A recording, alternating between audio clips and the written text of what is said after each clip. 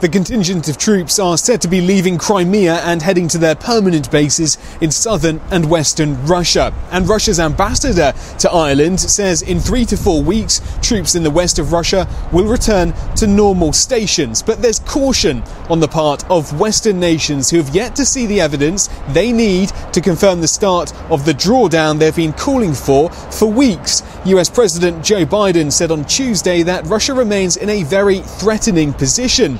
It was today that US intelligence reportedly predicted a Russian invasion. Overnight, Ukraine saw another major cyber attack against official websites, which Russia denies it had anything to do with, but there was nothing close to what was feared. Ukraine was always skeptical of that date, and its president Volodymyr Zelensky ironically arranged a celebration of national unity to be held today instead. Residents have been playing the national anthem, have raised flags, and TV channels have been broadcasting patriotic speeches. Stuart Smith, SABC News, Moscow.